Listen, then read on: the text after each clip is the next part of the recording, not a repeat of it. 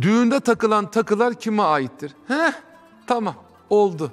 Düğün hakkında bir gün konuşacağım size. Düğünde takılan takılar nasıl anlaştıysanız ona aittir. Diyelim ki aile teşkilatı aranızda konuştunuz. Kızım, oğlum biz çok masraf ettik. Allah ıslah etsin zaten o düğün masrafları var ya. Neyse başka bir zaman anlatacağım. Neyse bir şey yaptık. Size ev aldık. Ama siz de düğünde takılanları bize getirin ki borcumuzu ödeyelim diye anlaştıysanız anneniz, babanız, borç alacağınız kişiyle o takılar söz verdiğiniz yere götüreceksiniz. Ama bak normal şartlar altında bir hanıma gelip yani bir borcu yok, anlaşma, özel bir konuşma yoksa bir hanıma takılan takıların hepsi veya erkeğe takılan takıların hepsi şahsın kendisine aittir.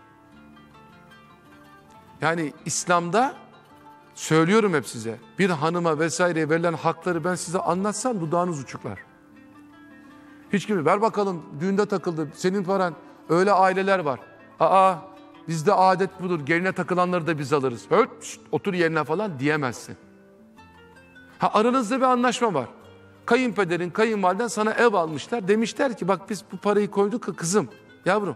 Ama hiç olmazsa düğünde takı falan bir şey gelirse onu da getirin başka bir yere borçlanmayalım. Bankaya faize falan bulaşmayalım.